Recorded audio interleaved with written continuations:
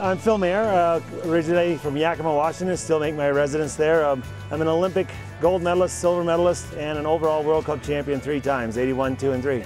So uh, have my place in the, in the history books of skiing. I don't remember what year it was, but we were in St. Anton, and, and there was a jump at the bottom right before the Zielschuss. It was called the kangaroo jump. You actually jumped over a road. So I thought it'd be kind of a neat thing to throw a 360 off the thing. And uh, I went down through there about 55 mile an hour and hucked a 360. Um, and when, you know, when I did it, I was like, that was really stupid. And then when I landed it, I said, that was pretty sweet, you know, but uh, you look back on it in hindsight and you go, that, was, that could have been career ending, you know, really a dumb thing to do.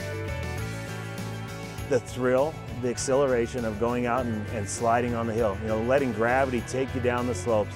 And, um, and then it's, it's perfecting a turn and, you know, always being better. You know, the old adage, practice makes perfect, is such a bad one because you can practice something wrong and become very good at doing it wrong. It's perfect practice makes perfect, and it's being stubborn and tough enough on yourself to make every turn better than the last one and always trying to be better, better. And I, you know, my philosophy is, in life was I want to be better tomorrow than I was today. And that's how I uh, approach my career.